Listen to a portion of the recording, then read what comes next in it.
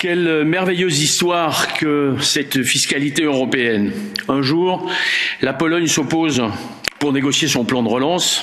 Le lendemain, la Hongrie, et on ne sait pas vraiment pourquoi. En attendant, des centaines de multinationales échappent à l'impôt, au mépris des Européennes et des Européens et au mépris d'un accord validé par 136 États dans le cadre de l'OCDE. Monsieur Macron nous disait en janvier que, que ce dossier était sa priorité. Vendredi dernier, miracle.